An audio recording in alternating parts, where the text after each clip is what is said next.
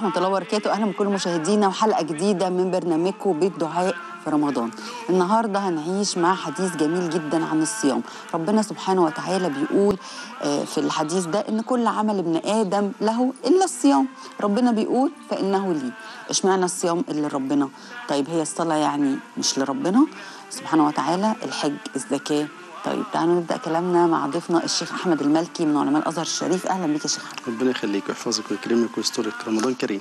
الله أكرم ربنا يكرمك ويسترك ويسترنا جميعا كده ويقدرنا على العبادة ويتقبل منا يا رب رمضان.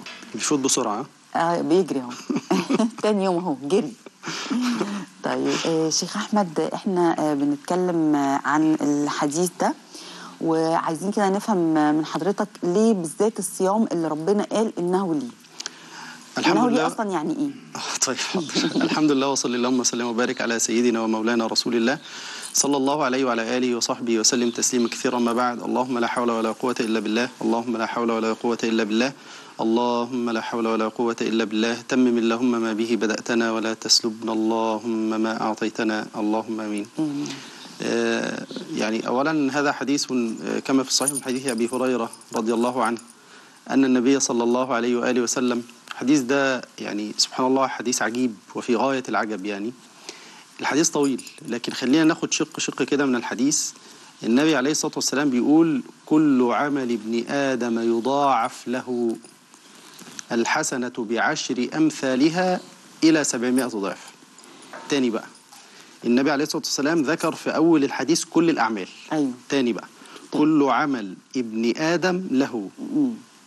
يضاعف له. كل عمل ابن آدم يضاعف له. أي عمل بقى؟ صلاة صيام زكاة حج صدقة أمر بمعروف نهي عن منكر بر الوالدين أي حاجة. ذكر. كل النبي يقول كده في البخاري. كل عمل ابن آدم يضاعف له. الحسنة بإيه؟ بعشر عشر. أمثالها. إلى 700 ضعف. هقف بس جزء هنا. اولا يا أستاذ دعاء لما نشوف الأعمال اللي إحنا حتى بنعملها حتى وإحنا دلوقتي بفضل الله في رمضان والناس مقبلة على الله عز وجل في شهر رمضان كله الحمد لله صايم الكل بفضل الله بيقرأ القرآن الكل بيذكر ربه سبحانه وتعالى الكل سبحان الله متجه إلى الله عز وجل بالدعاء. تلاقي معظم الناس بتخرج ما شاء الله الصدقات سواء بقى صدقات آه، عينية سواء كانت صدقات مالية شنط رمضان اللي بتخرج دي كل ده عمال يتسابق فين؟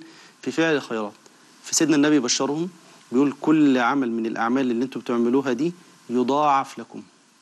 الحسنة بعشر أمثالها. ومصداق ذلك في قول ربنا من جاء بالحسنة فله عشر إيه؟ فله عشر أمثالها. طيب بس لا. ربنا لما بيجي يعامل بيعامل مع عبده يتعامل معه بقاعدة الفضل مش بقاعدة العدل. وده من كرم ربنا سبحانه وتعالى على على العباد. بمعنى أنا لو حاسبتك أصلا بالعدل ربما الإنسان أصلا ما ينجحش في في, العبادة بتاعته دي خالص. ليه؟ أنت بتقرأ القرآن ربما لا تتدبر أصلا في القرآن الكريم. ممكن تدخل الصلاة وتخرج منها وأنت أصلا لم تعقل من الصلاة إلا يعني حاجة بسيطة جدا. وسيدنا النبي عليه الصلاة والسلام يقول ليس الإنسان من صلاته إلا ما عقل منها. ده هو لو هيعاملنا بقاعدة الإيه؟ العدل. عملت كده تاخد حسنة.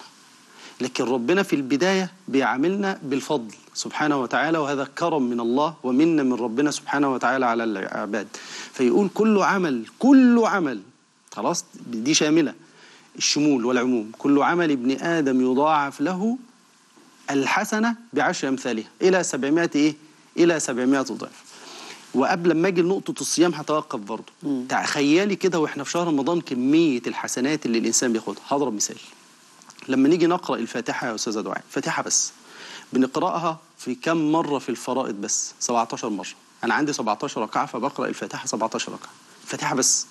بخلاف بقى الصورة بخلاف التسبيح. طب الفاتحة دي فيها كم حرف؟ على التحقيق 134 حرف. فواحد يقول لي الحمد لا أقول له هي ما بتجيش كده خالص. ده ال- ال- المدود تحسب. دي تحسب. يعني المد المد العرض السكون لو ست حركات دي ست حروف فأنا عندي 134 حرف. لما نيجي بقى نقدر المسألة دي من إلى 10 حسنات إلى 700 ضعف بعض العلماء قعد يحسبها فوجد يا أستاذة دعاء إن الإنسان يتحصل على الثواب بقاعدة الفضل من الله عز وجل 14 مليون حسنة بس في قراءة الفاتحة كل يوم. مم. كم حسنة؟ معقولة؟ آه 14 تخيلي. ما هو 134 حرف. أدي 134 حسنة وبعدين تضربي في 10 وبعدين إلى 700 ضعف فوصلوها 14 مليون حسنة ده دي بس في قراءة الإيه؟ فاتحة. في قراءة الفاتحة. ده ده خلاف السورة ده خلاف صلاة التراويح اللي الناس بتصليها. ده خلاف التسبيح وانت راكع ده خلاف السجود وانت ساجد لله عز وجل. ده خلاف اللي انت بقى ما شاء الله شوف الورد بتاعك بتاع القرآن. شوف كمية الحسنات. يبقى ربنا يتعامل مع العبد بإيه؟ بالفضل ولا بالعدل كده؟ بالفضل. بالفضل. يبقى يجب على العبد جزاء بقى الش... النعمة دي. ما دي نعمة من ربنا عظيمة طبعاً، جدا. طبعاً. أن يتعامل العبد مع الرب بالشكر. عشان كده سيدنا النبي عليه الصلاة والسلام لما كان يصلي وتتورم قدمها السيدة عائشة بتقول له يعني إزاي مش ربنا غفر لك يعني ما تقدم من ذنبك وما تأخر؟ فقال النبي صلى الله عليه وسلم أفلا أكون عبدا إيه؟ أفلا أكون عبدا شكور. يبقى أنا كعبد مؤمن تقي صالح عابد لله عز وجل أقول له رب أنا بشكرك على هذه النعمة فأؤدي فرائض الله عز وجل وأبدأ أزود من النوافل في آه، حبا لله تبارك وتعالى يبقى دي النقطة تعالي نكمل بقى الحديث كل ابن عمل كل كل, عمل عمل ابن آدم. يضاعف له الحسنة بعشر أمثالها إلى سبعمائة ضعف يروح ربنا قال الله عز وجل إلا الصوم. هنا استثنى بقى إلا إيه؟ الصوم. إلا الصوم ليه؟ ليه الصيام بقى آه، ليه يا رس... ليه يا رب يعني؟ فالحديث في في البخاري قال الله كده؟ فيقول إلا الصوم فانه لي وأنا أجزي به. وفي رواية ليه بقى؟ قال يدع شهوته وطعامه وشرابه من أجلي. مم. من أجل الله عز وجل. وبصراحة يعني إنه الأكل ده آه، متعة من متع الحياة. طب تعالي. نبسطها أكتر. مم. إنت حضرتك سالتي سؤال مهم جدا. قلت يعني الصلاة هي مش لله؟ مم. آه طبعا لله. طبعا.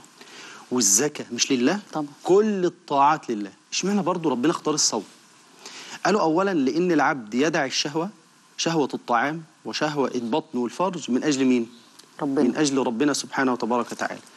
الإنسان ممكن يقول لك أنا صايم. يبقى أنت عرفت إن هو صايم ولا لأ؟ هو صايم. ماشي.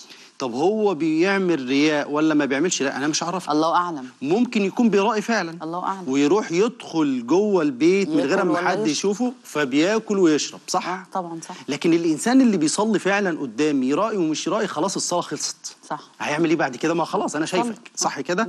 لكن هنا إلا الصوم فقال لك لأن الإنسان ممكن يدعي الصيام ويقول لك أنا صايم عشان الناس تقول عليه ما شاء الله يعني ده كل يوم بيصوم ويدخل البيت يعمل إيه؟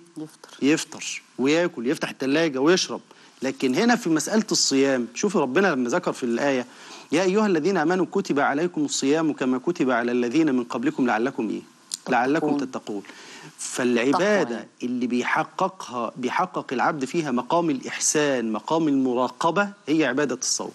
يعني إيه يعني أنا ال- الجو حر ومش قادر وقاعد لوحدي في الشقه وأفتح الثلاجه وشايف المية الساعة قدامي وشايف وجعان وشايف الأكل. طب إيه بقى؟ أعمل إيه؟ ما باكلش. طب ما بتاكلش ليه؟ عشان مين؟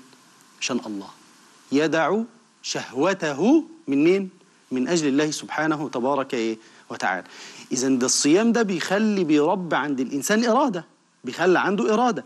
وبالتالي يبدأ الإنسان من المنطلق ده يبدأ يصل إلى باب اسمه باب الإيه؟ باب التقوى. لعلكم تتقون. يعني إيه لعلكم تتقون. يعني كما يقول ابن مسعود رضي الله عنه أن تعمل بطاعة من الله على نور من الله. أنت بتعمل الطاعة دي على نور من الله وتعلم أن الله مطلع عليك ويراك. ولذلك سيدنا سهل بن عبد الله التستري كان خاله يقول له كده يا سهل كل يوم قول كده وأنت صغير وهو صغير الله يراني الله ناظر إلي الله مطلع علي. قعد يكررها لغاية لما بقى شاب كده جميل كده عنده 11 سنة.